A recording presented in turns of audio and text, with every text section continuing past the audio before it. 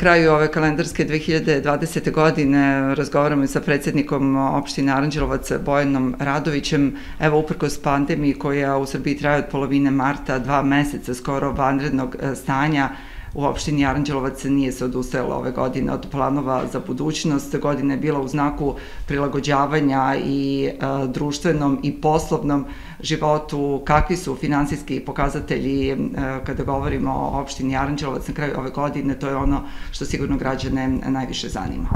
2020. godina, ono što je prethodilo pre nego što je krenula ova velika epidemija, pandemija koja je zahvatila celu zemaljsku kuglu.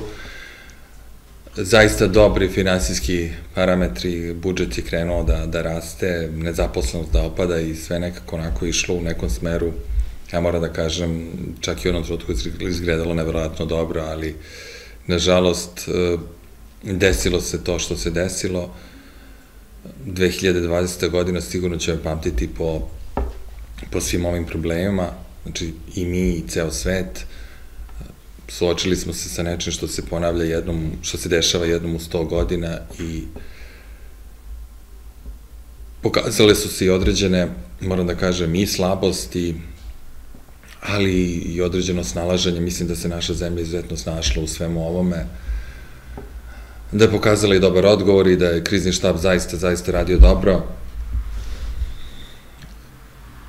Nadam se da u 2000 21. imat ćemo mnogo, mnogo manje problema sa samom pošasti i da ćemo nastaviti onako kako je započelo pre ove, odnosno poravak naše zemlje pre ove pandemije. Ono što moram da napomenem da u svemu ovome i naša lokalna samouprava je prolazila kroz jedan i prolazi kroz jedan period koji je za nas težak kad je u pitanju zdravstvo, zato što radimo rekonstrukciju gradske bolnice i Bila je mnogo polemike i čak i u Skupštini su nas e, napadali predstavnici opozicije, e, rekavši da nije trebalo da se radi rekonstrukcija bolnice. Znate, uvek je lako e, kada posmatrate sa strane i kada dajete takve izjave onako paušalne i lagodno procenjujete neke stvari. Mnogo je teško kad se nalazite u situaciji da dobijete, donesete velika sredstva, veliki projekat, u situaciji kada sve kreće, kada je prošla i nabavka, kada su odobrena sredstva, kada su neki drugi fondovi zatvoreni, kada su rezervisana sredstva za rekonstrukciju bolnice i kada je, kažem, započeta procedura i vi da to prekinete. Znači, nosite jednu veliku, veliku odgovornost. Pitanje da li će uvek biti tih fondova u jednom trenutku bio je fond od milijardu evra za sve bolnice i zamislite da propustite takvu šansu da naša bolnica će biti jedna od prvih regionalnih bolnica, opštih bolnica koja će biti rekonstruisana. Ne govorimo o kliničkim centrima, govorimo o opštim bolnicama, znači trebalo bi bude prva u Srbiji koja će biti rekonstruisana. Znači jedna velika šansa da drastično promenite sliku kad je u pitanju sekundarna zdravstvena zaštita i da značajno, značajno unapredite sve te, kažem, uslove koji su neophodni za najbolje, najbolju medicinsku negu svih naših sugrađana. I nalazite u situaciji kada bolnica izuzetno otežano radi u takvim uslovima i kažem velika zahvalnost svim medicinskim radnicima, zaista, zaista velika zahvalnost za sve ono što su radili svih ovih meseci, ono što rade i što neće, ja se nadam, još dugo raditi, nadam se najdelje do proleća kada krenu rezultati ove imunizacije, ali kažem, znači jedna jedan izuzetno teška situacija, jedan veliki kompleksan problem. Mi smo se odlučili da u tako teškom periodu nastavimo rekonstrukciju bolnice, da ne odustajemo. To je bio stav i Republike Srbije koja rekonstruiše mnoge bolnice po Srbiji, da iskoristimo ovu šansu i da, eto, takav jedan veliki projekat koji je po svim parametrima kad smo radili istraživanje bio ocenjen kao i najvažniji pro, uh, projekat i projekat koji građani najviše prepoznaju. Znači, najvažnija stvar koju građani žele da se uradi u našoj opštini je rekonstrukcija gradske bolnice. I uvek je, koliko god bili vezani za park i za hotele i za rekonstrukcije puteva, uvek kada vide bolnicu i rekonstrukciju bolnice, što i normalno građani to ocenjuju kao najvažniji projekat koji treba da se uradi u, u našoj opštini. Sve su to bili razlozi da mi nastavimo sa ovakvim projektom i da će Bog već u septembru, oktobru imat ćemo rekonstruisanu bolnicu, a ja se nadam da ćemo već u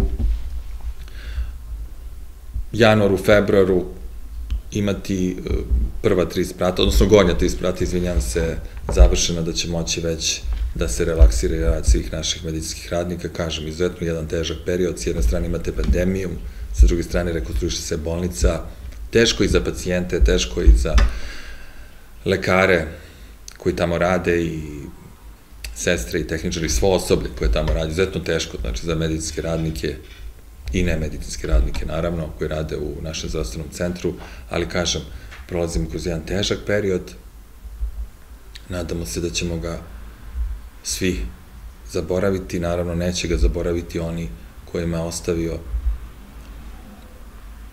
posledice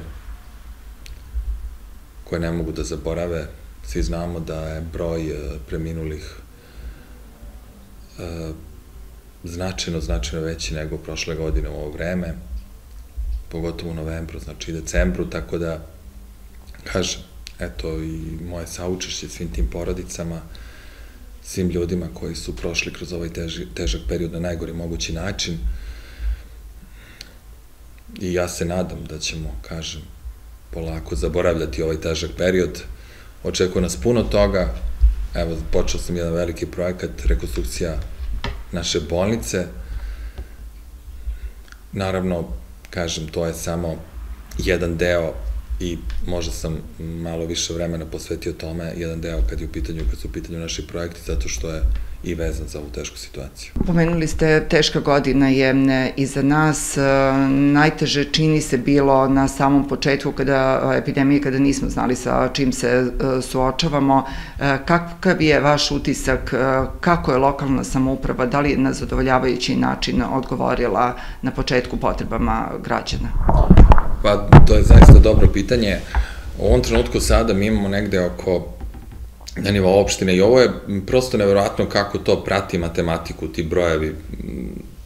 Prosto vidite, te, te, te, to, to, to je čista matematika, te krive o kojima su pričali u kriznom štabu i kada sam slušao i taj pik i zaravnjenje, a onda kada dobijete svaki dan izveštaj pa vidite da u jednom periodu imamo preko 50 dnevno zaraženih, sada taj broj ispod 20, tačno vidite da je to jedan jedan čisto ovako matematički model koji prati sve to, znači zavisnosti od mera koje primenjujete. Kako primenite jače mere, tako broj počinje da pada, a sa druge strane imate izuzetno, izuzetno tešku situaciju kad je u pitanju privreda, znamo svi koliko je, u, u kakvoj se situaciji nalaze i naši ugostitelji i turizam, i tu pokušavaju svi da balansiraju evo vidim da je u Austriji već treći put, oni to zovu lockdown, znači sve se zatvara, ništa ne radi, znači primenjuju se mere u, u celoj Evropi. S jedne strane, mi smo imali proteste kada smo primenjivali malo oštrije mere, takozvani policijski čas, a sa druge strane imate sada i povike zašto se ne primenjuju oštre mere. Vratit ću se samo za trenutak na bolnicu, kada sam govorio o tome, rekao sam da je velika uloga lokalne samoprave i to stalno pričam. Kada ni, bolnica nije imala grejanje u jednom trenutku, mi smo bili krivi. Međutim, kada smo mi kupili električni kotao, znači lokalna samouprava odobrila sredstva, prebacili smo bolnici za električni kotao sredstva kako bi prevazišli krizu sa grejanjem, dok se ne puste kotlovi na gas, koje takođe finansira opština, a opština takođe uradila projekte i kada je u pitanju, kad su u pitanju i toplotne pumpe i kad je u pitanju velika kotlarnica koja će se graditi u krugu bolnice, zato je lokalna samuprava radila projekte zaravno i sa našim privrednicima. Kažem, tada već svi zaboravljaju i kažu, pa kakve veze ima lokalna samouprava, to je, to radi Republika, a kad nema grejanja, onda je kriva lokalna samouprava želim da kažem da kada, kada vršite neku vlast ili funkciju u jednoj, tako, u toj jednoj hirarhiji kao što je lokalna samouprava, nemoguće da nemate dobru spregu sa republičkom vlašću. To je suština. Znači da budete povezani, da kao što mi dobijamo i te sugestije, naredbe i predloge kad je u pitanju krizni štab, tako i kad su u pitanju svi ovi projekti. Znači, jako je bitno sarađivati.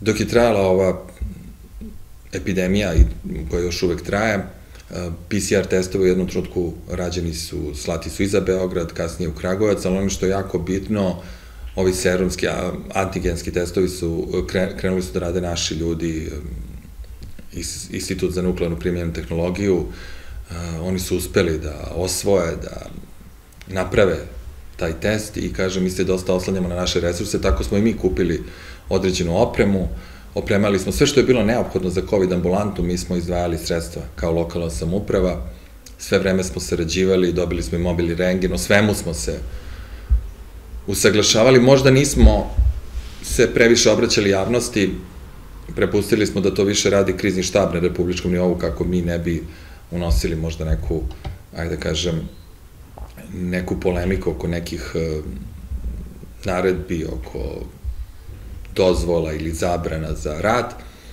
ali kažem, u svakom slučaju potpunosti smo se usaglašavali i dopunjavali za sve ono što je neophodno.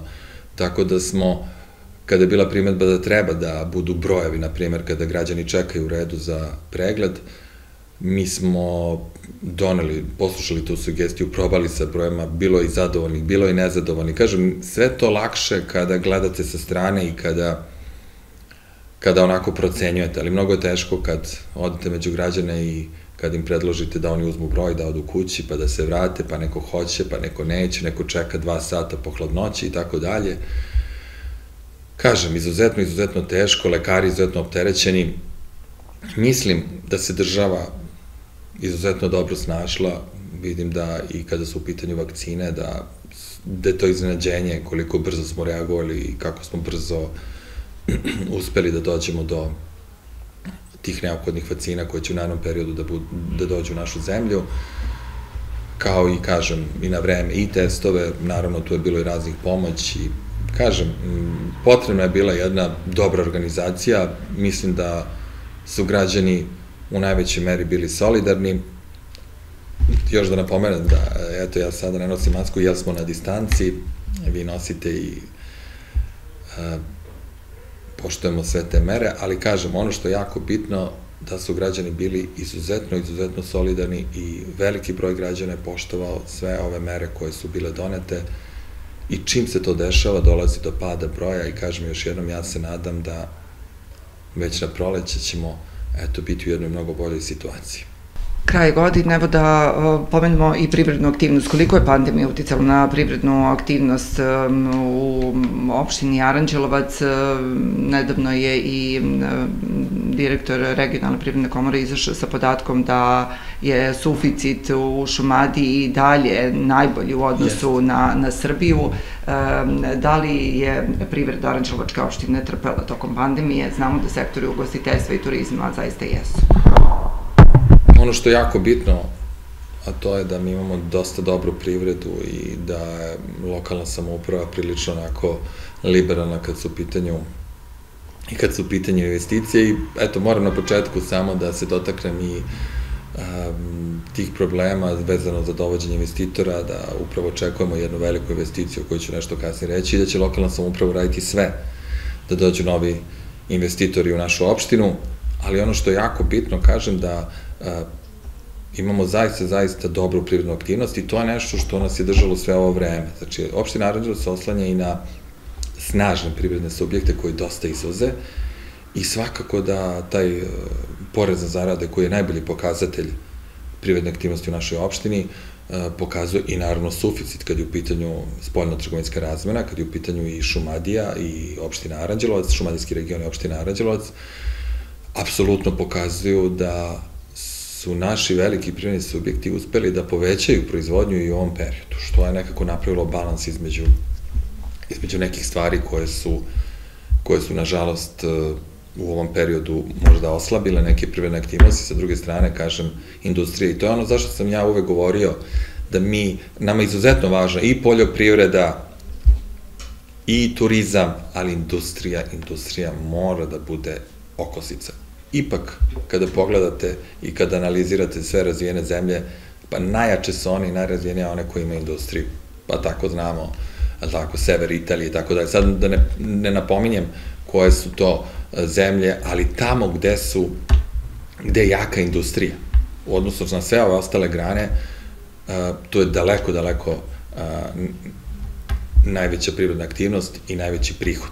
Naravno, još jedno napominjem da neko slučajno to ne izvuče iz konteksta, izuzetno su nam važni i turizam i poljoprivreda, izuzetno važni, ali ono što ćemo mi uvek reći, fabrike su fabrike, tako da to je sada i isto pokazalo da, da su fabrike nekako prošle kroz ovaj period, a i sa druge strane, sama njihova aktivnost je bila takva da su kamioni mogli da se kreću, da je ipak zabrana se odnosila na neke druge privredne aktivnosti, tako da, kažem, oni su bili, možemo na neki način, kažemo, iako su teški uslovi, relaksirani što se tiče nekih zabrana i mogli su čak, i jesu mnogi to uradili, povećali privrednu aktivnost i tako smo mi nekako uspeli da zadržimo budžet na nivou koji je, koji je dobar, znači nismo imali rast od 10%, ali ćemo imati negde rast oko 4%, vidjet ćemo, je tako, to je već negde 4, nešto, vidjet ćemo danas je zadnji dan vidjet ćemo tačno prihode, pa ćemo izračunati, ali ono, kažem, što je jako bitno, nije došlo do pada, ono što čega smo se bojali i što smo očekivali, ali sigurno da ovakav trend ne može dugo da traje ukoliko bi ova epidemija, odnosno pandemija potrejala, sigurno da bi došlo do slavljenja i privredne aktivnosti kao što se desilo u nekim razvijenim zemljama, pa tako smo mi zemlja koja će imati koja neće proći kroz ovaj period što je i, rekla, i rekao i MMF i svi iz Evropske unije, da se Srbija najbolje snašla u ovom periodu i da ima i dalje dobar privredni rast u odnosu na okolnosti e, koje se dešavaju, u odnosu na ostale zemlje, tako da, kažem, kad se sagleda cela slika, mislim da je opština Aranđelovac i, i Republika Srbija da su dobro prošle kroz, kroz ovaj izuzetno, izuzetak težak period. Kažem, ako pogledamo zemlje u okruženju, one najrazvijenije zemlje, što je normalno, vidimo koliko su one pretrpele i koliko će tek pretrpeti gubitak. Tako da, kažem, nadam se da nam dolazi jedan mnogo bolji period. Nije život naravno potpuno stao, neki projekti su krenuli sa realizacijom, evo pomenuli smo kapitalni projekat rekonstrukcije bolnice, neki su usporeni, neki su odloženi jer ništa se ne može bez priliva iz Republike.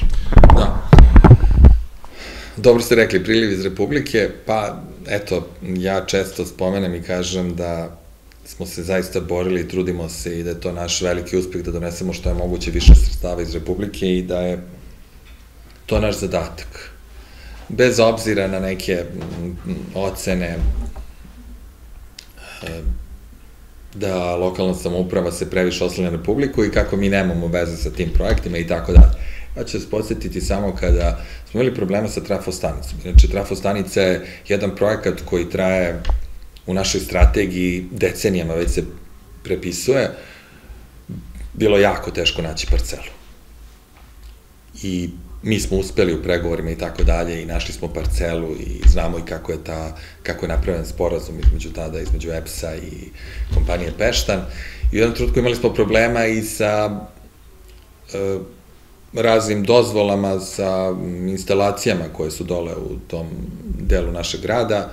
I to smo rešavali sve u hodu, puno, puno problema. Sad imamo problema i oko uh, vodova kuda će, kuda će da pređu, preko kojih uh, parcela i, i tu, su, tu su problemi. Ono što je jako bitno, završena je sama trafostanica je završena, ali samo dalekovodi mogu da da budu malo problematični, ali na kraju postići se rešenje, postoje trase, u toku su pregovori sa ljudima preko čih parcela prolaze trase i te parcele nisu ni malo jeftini, oni trpe određenu štetu koju treba da im se nadoknadi, ali kažem, u trenutku kada je, kada je taj projekat malo zastao i mi smo položili kamen temeljac, e, direktor EPS-a i ja kao predsednik opštine, onda je bilo jedno zatiši zastao i tada smo bili napadani kako je lokalna samouprava odgovorna zato što ne kreće taj projekat i ne radi se ništa. Onog trenutka kada je krenulo da se radi punom snagom, i kada sve ide kako treba, onda je rečeno, e pa nema lokalna veze, o, o, lokalna samuprava veze sa ovim projektom, sa ovim projektom ima veze samo EPS. Tako da kažem, to uopšte nije važno. Važno je da je došlo u našu opštinu. I tekako, naravno, ima veze lokalna sa, sa svakim projektom koji je došao u našu opštinu. Kao što je i most u Bosuti i Jeloviku, gde je rečeno valjda da mi nemamo nikakve veze da radi kancelarija, pa sve projekte koje idu preko kancelarije ja potpisujem, overavam. Prvo moramo da podnesemo projekat, lokalna samouprava da bi se dobili sredstva. bilo koja, iz bilo kog resornog ministarstva, vi morate da uradite projekat. Ako nemate projekat, niko vam neće dati sredstva.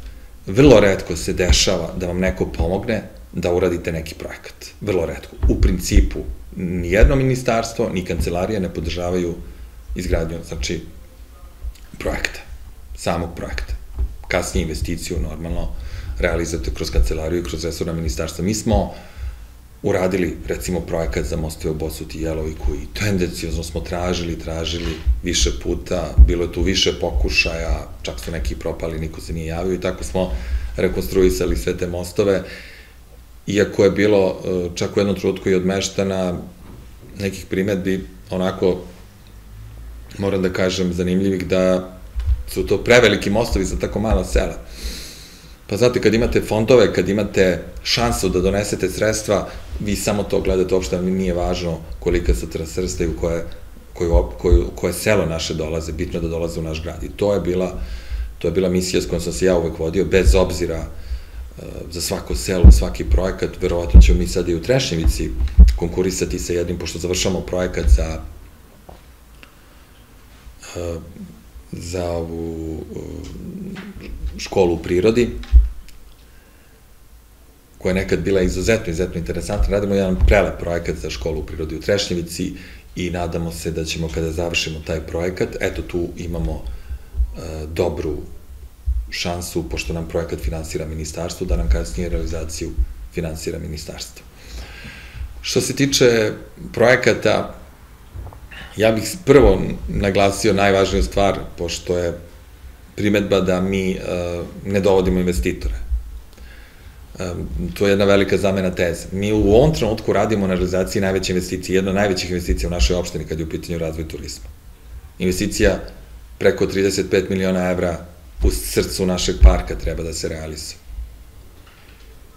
Investitor treba da zaposli 120 radnika. U isto vreme imamo ogromnu obstrukciju da realizujemo tu investiciju. Ogromnu obstrukciju kad je pitanju plan detaljne regulacije. A sa druge strane imamo primetbe opozicije da ne dovodimo investitore. A oni će imati šansu na prvoj skupštini sada, koja će verovatno biti u januaru, gde ćemo glasati za stotine novih radnih mesta, samo u parku. Jer nije u pitanju samo hotel Šumadije i hotel Staro u pitanju je i specijalna bolnica. U pitanju je i još jedan hotel koji će da se grati. Da li će to biti, govorimo o onom novom RH zavodu koji je započet. Znači, sada se situacija definitivno, hajde da kažem, u tom nekom istorijskom smislu lomi. Znači, ovo je prelomna situacija kada sa jedne strane dolazi nam velike investicije bolnice autoput, o kome ću nešto kasnije pričati, a sa druge strane taj veliki decenijski problem kada je u pitanju rekonstrukcija objekata u parku počinjemo da rešavamo. I on počinje da se rešava. Kažem, a onda imate da neko kaže, znate, mi ne želimo da se rekonstruiše Šumadija, zašto ste kupili staro zdanje? Pa zato što nismo imali izbora. Zato što smo morali to da uradimo. Kako smo mogli drugačije da rešimo problem koji smo imali? Želimo da mi u potpunosti kontrolišemo situaciju kad je u pitanju rekonstrukcije starog zdanja i kad je u pitanju, znači, uopšte, kad je u pitanju priroda. Znači, mi smo vlasnici starog zdanja, i apsolutno sada kontrolišemo situaciju kao što radimo idejni projekat koji smo uradili, sada ćemo raspisati tender za glavni projekat i kasnije rekonstrukcija objekta staro zdanje koji je inače simbol grada. Sa druge strane govorimo o hotelu Šumadija koji će uskoro u januaru imati usvajanje PDR-a i moći apsolutno u skladu sa zakonom da se rekonstruiše, kažem, samo taj objekat imaće preko 100 radnika, a da ne govorimo o specijalnoj bolnici koja će se proširiti takođe kroz taj projekat, da će takođe raditi neki novi medicinski radnici, gde će imati mnogo veći broj mesta. Znamo da je to jedina bolnica u Srbiji koja je specializovana za dečiji diabetis i jedna od šest bolnica koja je opredeljena za, je tako, stacionarno lečenje za taj period rehabilitacije od raznih trauma. I naravno, kažem, taj novi RH zavod koji će uskoro biti sigurno predmet prodaje, rešen je taj uh, sporni proces koji je vodio i PIO fond i država. U ovom trenutku on pripada PIO fondu. PIO fond očekujemo da će uskoro raspisati tender za prodaju tog objekta. Ono što je nama izuzetno drago da ima zainteresovanih ljudi koji žele da ulože značajna sredstva i ne znam i ne vidim ni jedan razlog zašto domaći investitori treba da budu diskriminisani. Ako je neko domaći investitor i zapošljava stotine radnika i želi da uloži u turizam, zašto po rečima nekih iz opozicije on treba da bude diskriminisan? Pa za nas je to najbolji mogući investitor. Investitor koji će, je tako, da zaposli, koji ima osjećaj, koji će prati situaciju i kad su u pitanju plate, tržište tu surovo, znači sigurno kada imate potrebu za većim brojem radnika nego što to može da ponudi tržište u našoj opštini, a će uskoro da se desi, nadamo se, kažem, kad prođe ova epidemija, da ćemo ponovo da, da krenemo, sigurno će sve rasti plate i sve će ići u jednom smeru koji je i očekivan. Tako da, e, kažem, sigurno najvažniji projekat u 2021. godini biće rekonstrukcija hotela Šumadija, izgradnja, odnosno njegova rekonstrukcija i dogradnja, a sa druge strane i projekat kad je u pitanju rekonstrukcija staro zdanje, jer nije mala stvar kada opština kupi jedan tako veliki objekat i onda svi postavljaju pitanje a, a šta ćete da radite s njim? Pa možemo da radimo šta hoćemo, znate, zato što, što mi upravljamo i već sada svi pitaju a, kako mogu da se dobiju sobe ili čiji će biti restoran kad ga mi rekonstruišemo. Već sada svi pitaju, svi su zainteresni zato što znaju da će to biti sigurno najbolja bašta u gradu i tu će sedeti više stotina ljudi i to će biti izuzetno profitabilno, a sa druge strane otvoreno za svu našu decu, za sve naše sugrađene. Znači, neće moći da se desi da, da ne može neko da ima tu maturu, neće moći da se desi da ne može da se održi književno veče i bilo kakav kulturni događaj koji je nama jako bitan i koji mi baštinimo, moći će da se održi baš u tom starom zdanju, a sa druge strane potrudit ćemo se da staro zdanje bude održivo sa, aspekt, sa finanskog aspekta, ali ono, kažem, što je, što je, što je najbitnije da, eto, posle toliko, toliko vremena, kažem, krenemo sa jedne mrtve tačke kad su u pitanju naših hoteli. Da, bila je, bila je čak polemika zašto uh, smo dozvolili snimanje filma u starom zdanju. Znate, kada naša preduzeća dobiju, na kraju su dobili negde oko milioni dvesta hiljada dinara. Kada naša preduzeća dobiju tolika sredstva za čišćenje i za sređivanje i snima se jedan film, pa na kraju je bio u pitanju žan filma, u pitanju je Hollywood, da, produkcija, e, eto, to su već neki, ja kažem, očeni pokušaj. Staro zdanje je pokazalo da ima vrednost i sad, kada je moram da kažem, razvaljeno, ruinirano, pokradena dokumentacija. Ono što je veliki problem da nema tehničke dokumentacije. Tehničke dokumentacije, znači radi se o 200 projekata. Mi tražimo samo da nam neko kaže gde su projekti vezani za staro zdanje. Oni su nestali. Nema nema dokumentacije koja ne vredi malo, vredi puno. Hotel Šumadija će se verovatno graditi po nekom, je li tako, modernijem principu, a ona mora da zadrži autentičnost kad je u pitanju kad je u pitanju hotel, znači mora, ali sigurno neki, hajde da kažem, i viši standardi i urađen je izuzetno skupi nov projekat, koliko sam upoznat, a kad je u pitanju staro zdanje, mi želimo da ga što je moguće više da zadržimo autentičnost i kad je u pitanju interijer i kad je u pitanju da vratimo sve ono što je nekada staro zdanje imalo, što će biti jako, jako teško. Tamo nema više ničega, nema ni slika, nema ni lustera, više ničega nema u starom zdanju. Pokidani su i kablovi i e, nema parketa, nema ničega, znači krećete od jedne nule, a treba da vratite što je moguće više uh, i da bude autentično onako kako je, je tako, nekada staro izdanje izgledalo, jer to je, to je neki cilj Rade Mrlješ je uradio idejni projekat i zbog uh, naš arhitekta koji radi u Gradskom zavodu u Beogradu. I Rade Mrlješ će uskoro predstaviti svoje idejno rešenje. On je sigurno neko ko izuzetno dobro poznaje istoriju hotela Staro Zdanje, pošto se time dugo, dugo bavio. I sigurno će dati jednu od najboljih mogućih ideja u kom bi to smeru trebalo da ide. Kažem, posvetio sam malo više vremena zato što građani žele da da znaju šta će biti posle.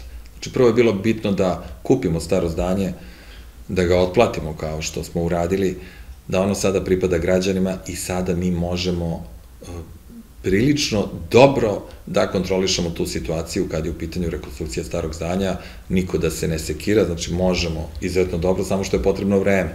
Ne može sve preko noći, kad je u pitanju lokalna samouprava i kad su u pitanju budžetska sredstva, mi moramo da poštujemo sve procedure i zakone. Znamo koliko dugo smo čekali bivetu da se rekonstruiše, ali ona urađena i sada zaista, zaista onako, moram da kažem, sija punim sjajem. I kao što je, su rekli naši gosti kada smo dobili tu nagradu za kulturno nasljeđe, da je staro zdanje, tako lepotica koja treba da se probudi, mislimo da, da će to tak, baš tako biti, samo kažem, eto, potrebno je malo strpljenja, malo vremena, ne možemo mi, sigurno će investitor će brzo raditi ono što, što pouzdano znam, da će brzo da se radi i rekonstruiše hotel Šumadija, čim se u svojim plan detaljne regulacije i reše još ti uh, ta dokumenta koja su neophodna za dobijanje građanske dozvole, oni su imali građansku dozvolu jednog nivoa, uh, radili su po toj dozvoli, onog trenutka kad su malo nešto odstupili od te dozvole, mi smo na prijavu bilo koji signal, morali smo da pošaljemo inspekciju i to je to. Je to. E, jesu to e, neke stvari koje su minorne, to ću reći iskreno, ali zakon je isti za sve. To što je neko gradio bez dozvole e, decenijama unazad, to što su mnogi radili, to ne znači da treba neko drugi, ali ono što je dobro, što, što dobijam saznanja, da oni uprkos toj velikom, toj velikoj obstrukciji, uspevaju da dođu do, do, do određenih dokumenta, pa tako recimo prosto neverovatno da za lovački dom su bila sakrivena negde dokumenta, da i 60 i neke, 70 i neke godine e, stižu dokumenta i o vlasništvu objekta i o vlasništvu zemlje, tako da kažem, to su neke stvari koje, koje su meni prosto neverovatne. Ista sudbina se dešava sa starim zdanjem, da nema projektno tehničke dokumentacije koja je bila sastavni deo tog hotela i mi smo sad kupili hotel, ali nema, nema dokumenta. Ali dobro, kažem, mi ćemo se snalaziti, um, naći ćemo rešenje kako da, da, da, da, da prevaziđemo sve te probleme i kažem uz pomoć um, dobrih arhitekata, građevinaca, mislim da ćemo napraviti uh, dobro kao što je već urađeno idejno rešenje i glavni projekat. Na poslednjoj sednici Skupštine usvojen je budžet za 2021. godinu. Mnogi projekti koji u ovoj, ovoj godini nisu realizovani i pominju se u njemu dnevni boravak na zapravo izgradnje novog dnevnog boravka, rekonstrukcija osnovne škole Svetolik Ranković, gimnazije Miloš Savković, naravno ulaganje u poboljšanje kvaliteta života meštana i sela, naravno i svih onih u gradu, asfaltiranje, trotoari, sve se to nalazi u budžetu za narednu godinu. Naravno, mi smo sve vreme radili po strategiji održivog razvoja i jednostavno ne možete sve da bude idealno. Neki projekti jesu prebacivani iz godine u godinu, ali kao što vidite ide njihova realizacija, kao što je to ove godine Jazi ili Balon Sala koji će se završiti početkom 2021. Škole nama je izuzetno važna, škole i vrtići. Samo da vas podsjetim da smo mi izgradili dva vrtića, jedan dogradili, da radimo rekonstrukcije, da sva deca su u našim vrtićima, nema više liste čekanja, isto tako i škole, znači uradili smo staru školu Milan Iličića, ali ono što je jako bitno da su nam i Svetolik Ranković i gimnazija Miloš Savković ušli u, u taj program vlade za rekonstrukciju preko Kancelarije za upravljanje javnim ulaganjima Ono što je veliki problem, kao što sam rekao, za razliku od bolnice gde je fond, tako, prilično veći, stabilan za škole, nažalost, zbog pomoći prirodnicima, zbog nabavke sigurno i testova i sada vakcine, morat će malo da se sačeka, ali su sve to, kažem, velike, velike šanse da uđemo eh, u njihovu rekonstrukciju, da kažem, da donesemo velika sredstva iz Republike u našu opštinu, kao što je bila, na primjer, i rekonstrukcija sale kod e, škole, kod VOCA, znači kod tehničke i ekonomske škole i videli smo kako je ona urađena na koji način. Znači, to su sredstva koje su izuzetno velika i da se radi kompletna rekonstrukcija. Čak u jednom trenutku je bilo reči kako mi samo rekonstruišemo, pa te rekonstrukcije koštaju mnogo više nego vrlo često mnogo više, kao što je, na primer, bolnica. Znači, ova rekonstrukcija i nabavka opreme košta mnogo, mnogo više nego što je ikada i što će ikada koštati. Znači, ta prva izgradnja bolnice koja je bila izuzetno važna, to je bio početak. Ali, kažem, sigurno će i nekada u nekom naravnom periodu biti i možda neka rekonstrukcija, mada je to teško, pošto će ovim planom biti obuhvaćen i objekti pored i mi smo kupili kuću pored bolnice, ali kažem, sigurno će u nekom naravnom periodu uh, nekada biti još više mogućnosti nego što je to sada za neke rekonstrukcije, za dogradnje, za izgradnje. Znači, ne možemo mi bolnicu da preselimo ili školu na neko drugo mesto. Nije realno u ovom trenutku, tako da su nama mnogo bitne te rekonstrukcije gde mi u stvari ostaje samo zidovi, sve se menja. Znači, ostaje samo zidovi, čak negde i menja se i krovna konstrukcija, potpunosti se pravi jedan novi objekat i normalno da on bude tu na tom mestu gde jeste. Ne možemo da ga rušimo ili da ga izmeštamo i tako dalje, da ne objašnjam više, mislim da su to nebitne stvari, ali kažem, mi ćemo u narodnom periodu pokušati da donesemo još više sestava, kažem, malo je sada zatišje, zato što uh, za sada je otvoren fond samo za nastavak rekonstrukcije bolnice, odnosno svih onih objekata i tu moramo malo da se fokusiramo, da uradimo projekat, projekte, a što se tiče škola i vrtića, kažem, morat ćemo malo da sačekamo, vidjet ćemo ono što mi imamo informaciju da će vrlo brzo krenuti kako se bude stišala ova epidemija, da će vrlo brzo krenuti ponovo finansiranje škola i svih tih objekata, vodovod i kanalizacija, svakako nešto o čemu možda nismo posvetili toliko pažnje, nešto što je najvažnije u ovom trenutku, a to je vodosnadevanje. Mi radimo um, jedan veliki, veliki projekat u ovom trenutku i mislim da ćemo ga, ja sam mislim da će se mnogo brže završiti, ali mislim da ćemo ga završiti krajem januara, početkom februara, da u martu već vidimo na kojim fondovima ćemo da se obratimo, to je vodosnadevanje, zamena velikog cevovoda uh, Garaši, Kačer Garaši, znači 7 km je cevovod, prolazi kroz 170 parcela. Naše javno komunalno prezeće radi taj projekat, mi ćemo uskoro imati legalizovano zakonjenu trasu, inače neka davno dobijene su i službenosti tog prolaza, tako da ćemo, kažem, morati da realizujemo taj veliki, veliki projekat. On je negde u ovom trenutku milion evra, koliko sam dobio predračun, samo zamena cevi sa tim zemljanim radovima, bez radova na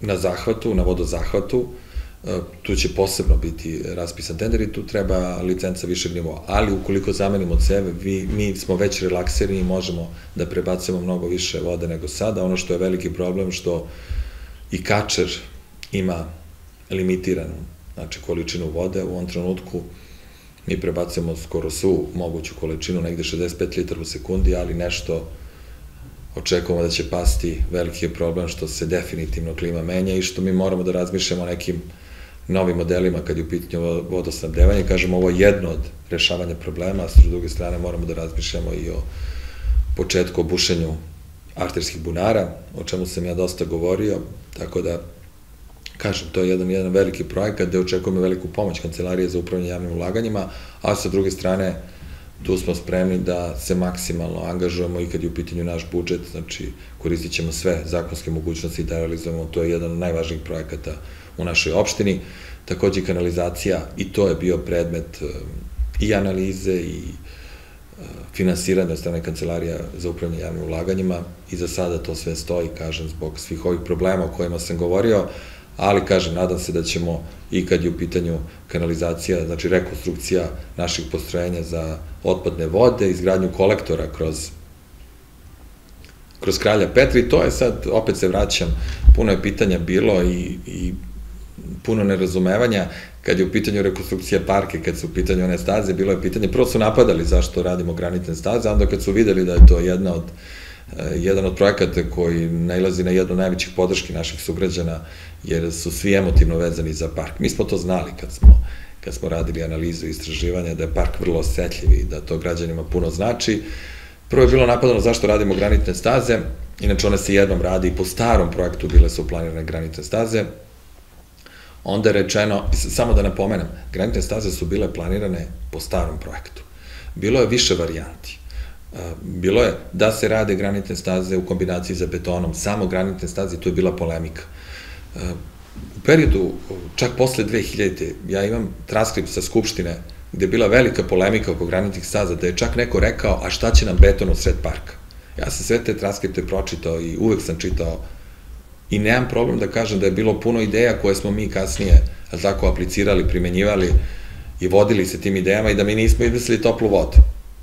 Uvek je se govorilo kad se radi kamenom, radi se našim granitom, svi mi znamo da to je jedna stara priča, ali kažem, u jednom trutku došlo i vidim, dugo se napadalo zašto se rade granitne staze, a onda je rečeno, a zašto ne radite u centru parka, nego radite u onom engleskom delu parka. Ja sam više puta govorio da park ima i francuski i engleski deo i da u engleskom delu, koji je izuzetno teško prohodan i, i tako dalje, radimo granitne staze od cepanog granita, da e, oživimo taj deo parka koji je 6-7 meseci teško prohodan i da građani mogu da šetaju i sada šetaju, vidim da svi šetaju i da osvetlimo i da park dobije jednu dimenziju da vi ne doćete kao nekada samo do sene i da se vratite nast i da nemate da možete napraviti jedan mali krug i to je gotovo. Sada vi možete napravite skoro 2 km jedan, jedan veliki krug, znači da, da, da, da, da imate jednu dobru, kvalitetnu šetnju koja je potrebna, pogotovo u ovim slučajima videli smo koliko je nama uh, kada je zatvorena cela zemlja, cela planeta, koliko je bitan park i koliko su bitni resursi, svoji resursi koje imate. I kažem, mi smo tu radili od cepanog granita, završili smo taj deo parka, sada smo krenuli stazu od bivete i videli smo svi kako ona izgleda, ona je jedna od najlepših staza, takve će biti sve staze ka hotelima koje se budu radile.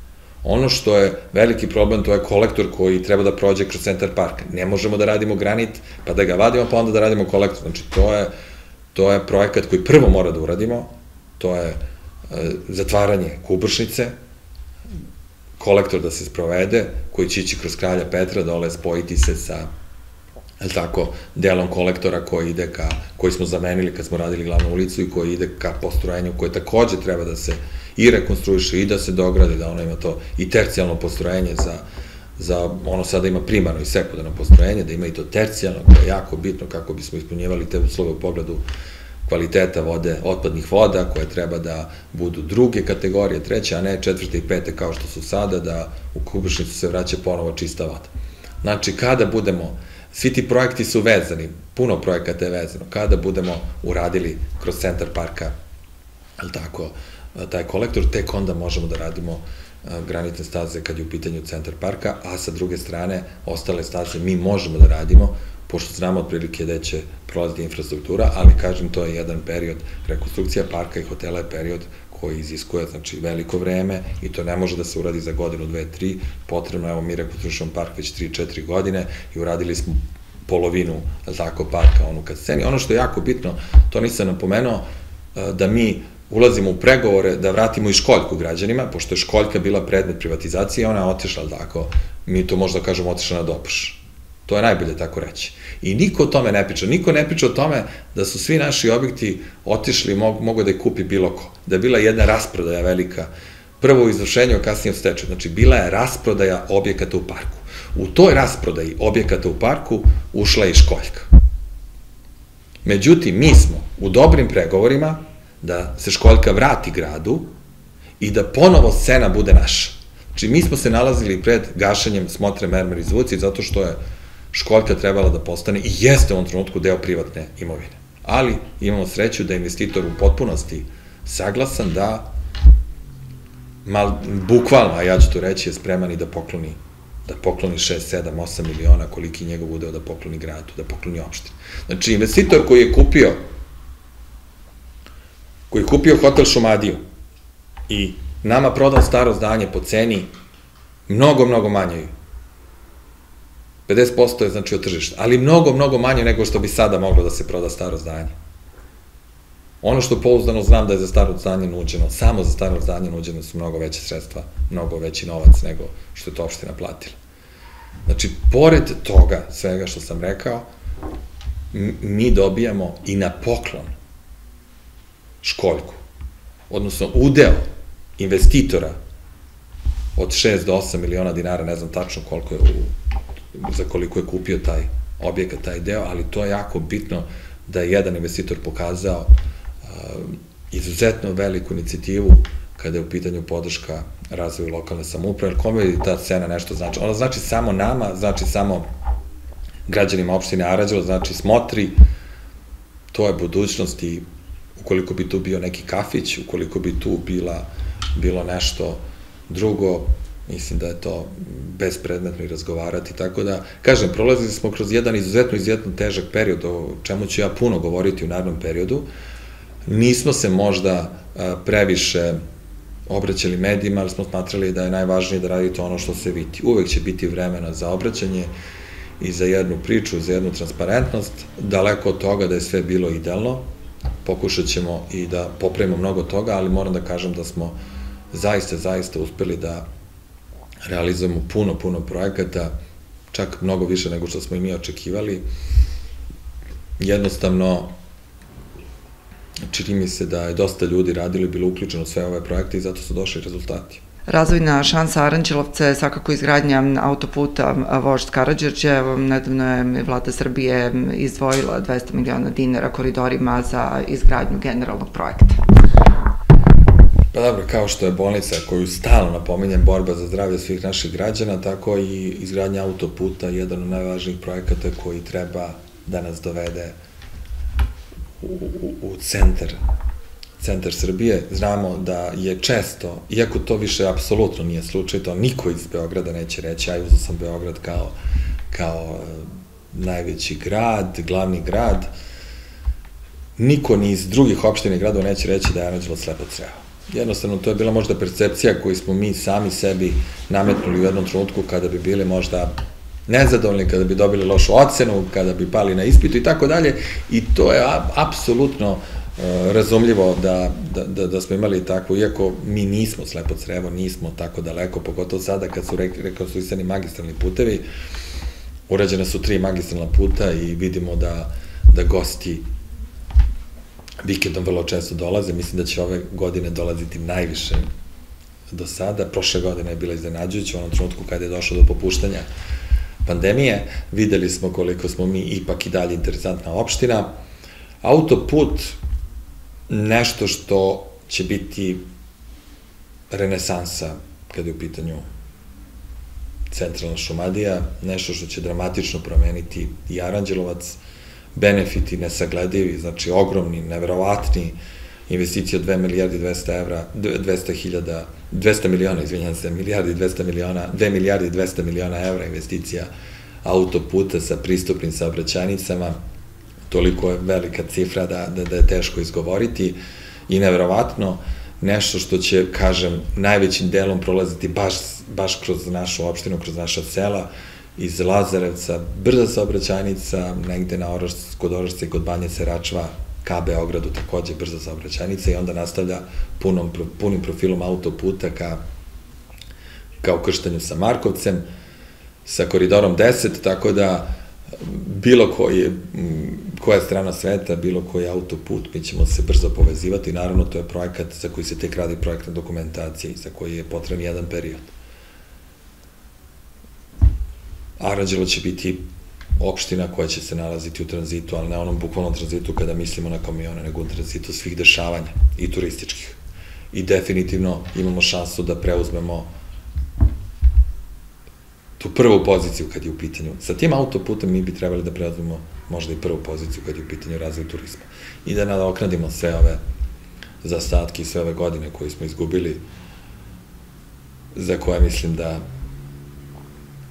ne da nismo odgovorni, nego je bespredmetno pričati. Evo, sama situacija pokazuje da smo izuzetno, izuzetno otvoreni za jednu veliku investiciju, što ćemo i pokazati već u januaru kažem, autoput koji će omogućiti sutra i našoj deci koja budu studirala u Beogradu da ne mora da plaći stan u Beogradu, nego da putuju tom brzom saobraćajnicom, tim autoputem, tako da kažem, jedna velika šansa je da se kompleks Orašac podigne na taj pijedastal koji zaslužuje i samo ime Boš Karadžorđe i simbolika i Miloš Veliki pokazuju koliko je Aranđelovac i koliko je ovaj deo Srbije izuzetno bitan i vladi Republike Srbije, a ja bih rekao predsedniku Republike Srbije Aleksandru Vučiću.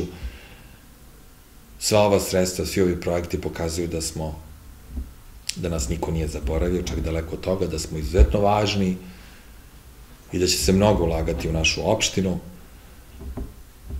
Mislim da će industrija imati takođe, takođe veliki benefit, jer sa takvom, takvim tranzitom vi ste interesantni i sa tog aspekta, pored turizma, poljoprivreda vidimo da je u velikoj ekspanziji, Aranđelovac je izuzetno, izuzetno interesantan u odnosu na prethodnu godinu nekretnine su skočile za nekih 20-30 procenata, pa kvadrat stana u novogradnju u Aranđelovcu nije više 700 i nešto evra, sada je 900, 1000 evra.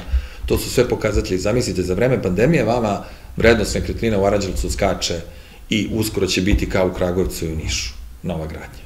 To je izuzetan pokazatelj, to pokazuje da smo mi interesantna opština, da se ovde stvara dobra klima i to su najbolji parametri. Znate, brojke su, priča jedna, ali brojke su neumoljive, semafor uvek pokazuje realnost kada je u pitanju budućnost jedne opštine. Kažem, mnogo toga nama treba u naravnom periodu da, da uradimo. Jedno od najvećih slabosti nam je voda, nažalost cela Šumadija je slabovodna, tu moramo dosta da uradimo kad su u pitanju projekti i to odmah već sad radi. To nam je sad najvažniji projekat kojim se bavimo, ali kažem, nekako mi se čini da kada sve ovo prođe da naša opština zaista, zaista ima jednu veliku šansu da bude jedno od najlepših mesta za, i za odmor, i za rekreaciju, a i za život, što je važno za sve naše sugrađane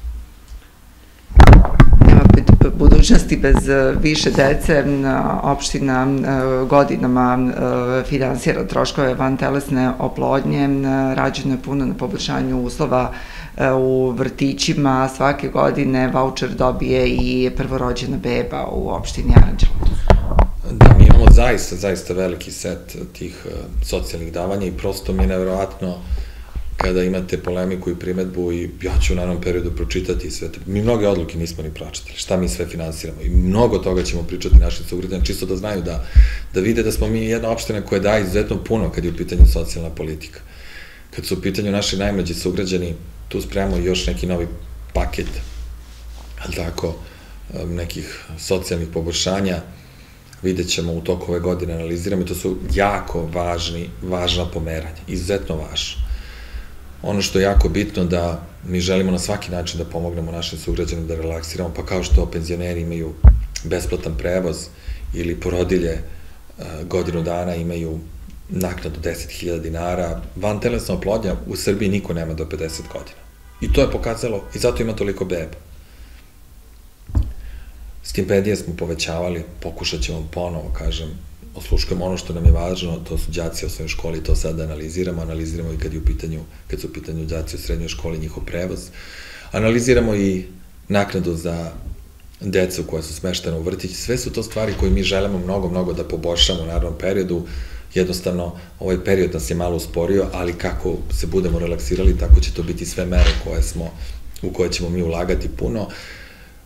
Možda i previše dajemo kad je u pitanju ali jednostavno to je bio naš izbor i to je bio naš put. Često se spominju nevladine organizacije i sad kad kažete nevladine organizacije to strašno zvuči, ali niko ne kaže da je to šah klub, niko ne kaže da je to crveni krst, niko ne kaže da je to udruženje penzionera i tako dalje i tako dalje. Pa to su nevladine organizacije. Ne znam koliko puta treba da objasnim da su to nevladine organizacije, 64 samo kluba i sportskih organizacija, da su da sada preko tog konkursa, kada odvojemo da mi kupujemo lopte i rekvizite za sve osnovne škole i da više nema škole koja nema lopte. Ja kad sam radio kao profesor u školi, ja znam da smo skupljali lopte posle onih olimpijskih seoskih igara, ja sam radio u Venčanima i ja sam pomogao da sve te lopte ostanu u školi posle tog završenog turnira da bismo imali lopte. Mi smo sada došli u situaciju da treba da izvojimo 2 miliona školama za nabavku lopte, da su oni sve lopte kupili i sve rekvizite. Ono što smo rekli, ne mogu da se finansiraju turniri i ne mogu honorari. Ali kupujte, ulažite, organizujte takmičenja tako što ćete decu da nagradite sendvičima, da im kupite opremu i tako dalje. Školski sport mora da se pomaše. Kažem, to su velika sredstva, da ne kažem samo koliko smo dali sredstava za lečenje, ali da li treba da se slikam ja sa svakim bolesnim detetom? Pa ne pada mi na pamet. Ili sa našim sugrađanom. Znači, mi možemo samo na kraju godine da kažemo, nećemo čak ni inicijale čitati koliko smo izvolili sredstava za lečenje naših ljudi u opštini Aranđelovac kad je u pitanju, kad su u pitanju najteže bolesti, mi uvek izvemo sredstva i svi dobijaju pomoć. To je nešto što, što smo mi uveli i što se toga pridržavamo i što mislimo da je nešto što je najvažnije. Pored toga, kažem, što ulažete u bolnicu i sređujete, mnogo je bitno i da na direktan način pomognete građanima kada im je to naj, naj neophodnije. Tako da, nekim stvarima je mnogo teško da, da, da se hvalite i da mm, na neki način možda izlopotrebljavate nečiju tešku situaciju. Tako da smo to izbegavali. Možemo da govorimo o brojkama, uopšteno možemo da govorimo o sredstvima koje svi naši građani ulažu u kad je u pitanju kad su u pitanju socijalna davanja, ali pojedinačno nismo za to da treba da se pokazuju takvi primeri zbog privatnosti i tako dalje, da ne objašnjam. Tako da, e, kažem, kad je u pitanju i kancelarija za mlade, kad su u pitanju naši najmlađi, zaista podrška učenicima ove godine, pa bila je, znači mi smo uveli jedno nagrađivanje e, profesora i đaka koji ostvaraju najbolje rezultate. I na tom nagrađivanju bude 300-400 dece. I ja se lično postavim sa svakim detetom. I to bude jedan period kada je to u junu, kada je izuzetno vrućina i ja uvek taj period pamtim da ima puno ljudi, puno, puno dece, da su deca presrećna, da je jedan to onako, moram da kažem, i težak, težak dan, da, da, da, da svi onako i oznojimo i umorimo, znate, 400 puta se ruko, pozdraviti se sa 400 dece i tako dalje, ali izuzetno drag i važan, jer kad vidite koliko su oni srećni i zadovoljni kada primaju tu neku novčanu nagradu za nešto što su oni lično uradili, i profesori ko, koje treba da nagrađujemo i treba u naravnom periodu da razmišljamo o još većem nagrađivanju koji rade sa decom, koji to rade besplatno i samo dobiju tu naknadu od opštine, imaju neke simbolične dnevnice koje su koje su, o kojima ne treba pričati. Znači, profesori to rade sve isto entuzijazma. I to je jako važno reći. I to je jedini, jedina novčana nagrada koju ne dobiju. I tu novčanu nagradu treba da povećamo. I onda nam neko kaže, kad dođe pandemija, kada vi ne možete, pa zašto niste, pa gde ćete, pa laptopove i tako dalje. Znači, to je prosto neverovatno. Vi uvodite, mi smo uveli lične pratijace. Mi smo sve to uveli.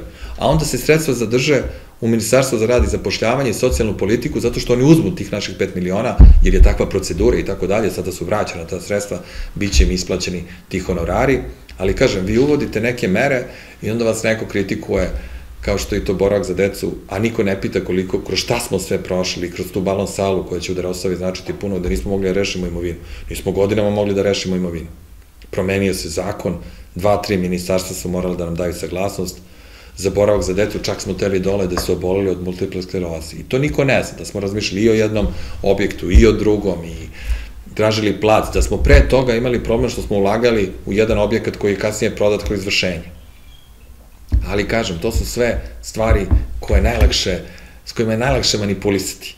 Mnogo, mnogo je lako kada nemate vremena da sednete, da ništa ne pročitate, da ni o čemu ne razmišljate, da nemate ni jedan konkretan plan, niti projekat, da počnete da manipulišete s decom. To vam je najlakše. Kažete, hoću da se bavim politikom, nemam vremena ništa da pročitam, nemam vremena ništa da radim, ne ajde pričat ćemo o tome kako ne brinu o deci. I to je najbolja manipulacija za one koji, tako, žele da ne rade puno, a nešto da pričaju o politici.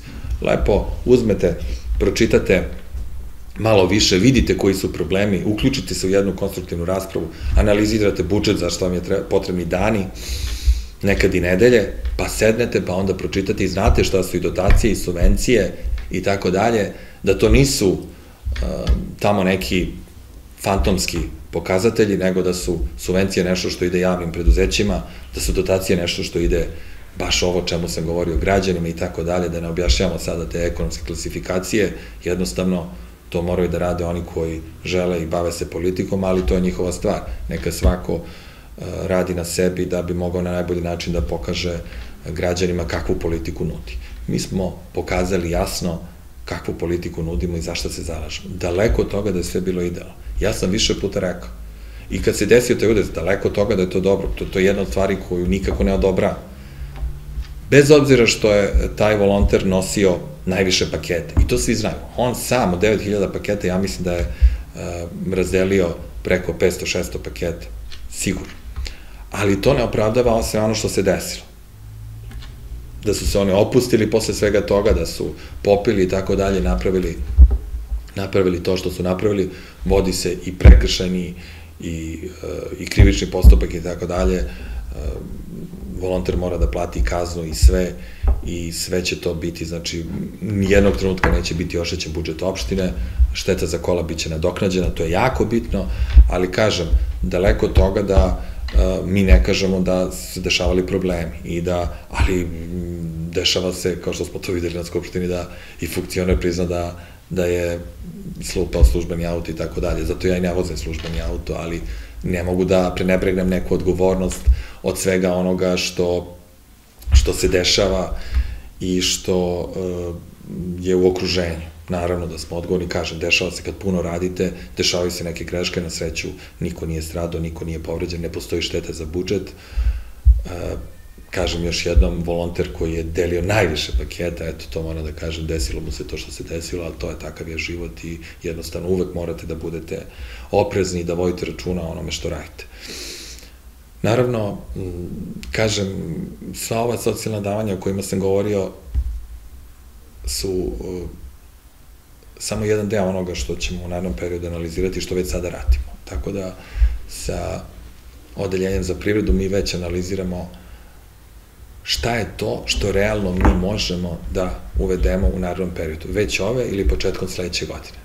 Već sam vam napomenuo e, neke stvari da sada ne dajem ideju mnogima, pošto primetio sam da kada nemaju neku ideju, onda slušaju šta ja pričam, pa onda kažu, evo, uradite to, evo, uradite balans salu, evo, uradite azil i tako dalje. Znači, nekako malo čuda neka politika, ali dobro, i to razumeo.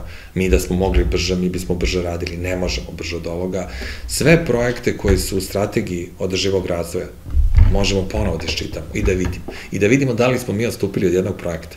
Znači, mi se držimo trasiranog puta kao kad dete ide u školu, pa završava tako po razredima i kasnije dođe do nekih viših škola, tako i mi sa projektima onako pažljivo trasiramo, gledamo šta su prioriteti. Nijednog projekta se nismo odrekli. Samo je pitanje kako doći do realizacije tog projekta i koliko je potrebno napor. Naravno, autoput je naše što je iznenađenje za sve nas, to nismo mogli ni da sanjamo, tako da ja se nadam da ćemo, kada ovo sve prođe, da će ta realizacija ići nekim uh, putem koji će biti prihvatljiv, da će to što brže da se realizuje. Ono što sada mogu da kažem da su izvojna sredstva u koridorima za izgradnju projektne dokumentacije, posle se očekuje ekspropriacija i tako, svi ti dali koraci, kažem, zanimljiva 2021. posle jedne izuzetno, izuzetno teške godine, ono što bih želeo svim našim građanima da, da poručim, uvek sam govorio, kada god bih e, bila ovakva prilika da poželimo novu 2021. da trebaju da budu u krugu svojih porodica, da provedu sa svojim prijateljima, sa najdržima, do onih do kojim ih je najviše stalo. I to je neka bila poruka i sigurno da smo sada zaista imali puno vremena i provodili, ali možda neka poruka da iz 2021 nadoknadimo sve ono što nismo imali u 2020. Možda malo i neka veća širina da malo nadoknadimo sve ono što nam je nedostajalo. Ne mislim u nekim provodima i tako dalje, ali mislim u druženju, u prirodi, u tim nekim aktivnostima, što vidim da mnogim građanima našim fali da 2021. bude mnogo bezbrižnija i da posete i neke, ali tako, šire prijatelje do kojih možda nisu mogli da dođu u šire krugove prijatelja, do kojih nisu mogli da dođu u 2020. godini za svega ovoga što se dešavalo, da ćemo, nadam se, brzo zaboraviti ovaj jedan period koji će sigurno ostaviti tragove u, u istoriji svih nas, znači u životima svih nas, ali da ćemo pokušati barem da što pre zaboravimo, da se okrenemo što je moguće više druženju, privrednim aktivnostima, mnogo više sreće i na ličnom i na poslovnom planu, naravno lokalna samouprava da se potrudi da što više uradi, da što više obraduje građane, svaka nova staza u parku, svaka nova škola, svaki novi hotel, nova fabrika, da sve to bude ono što će da obraduje sve naše sugrađane i naše goste koji će rado dolaziti u našu opštinu, kao što već to sada dolaze, i da svi zajedno najzad osetimo jedan značajni boljitak. I na kraju 2020. godine u kojoj je naš život doživeo potpuni preobražaj e, verovatno će većina nas drugima poželeti da se vratimo u staru uh, normalnost i staru realnost. E, mi vama kao predsedniku opštine želimo da sve ono što ste zacrtali i kao lokalna samouprava u 2021. godini kako bi se odopredio kvalitet života stanovnika i ostvarite takođe. Hvala vama što ste im dali ovu priliku da, da kažem nešto o našem gradu i o projektima koji nas očekuju, koje naravno i realizujemo i još jednom svim našim građanima sve najbolje u 2021.